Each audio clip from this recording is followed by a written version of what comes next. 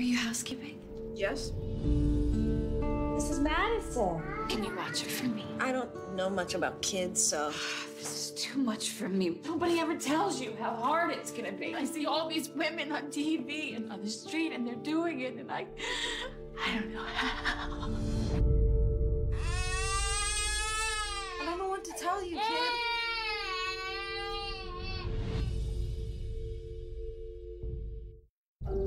What's your plan, Lou? Lying in the grass? I mean, with your life. When I was six, my mom, she sat me up on, on the stoop and told me to wait. She was just gonna go run some errands and come back. I never saw her again. I wouldn't have cared, right? If I hadn't needed her. So I just, I think it's better to not be needed. That is no way to live. She.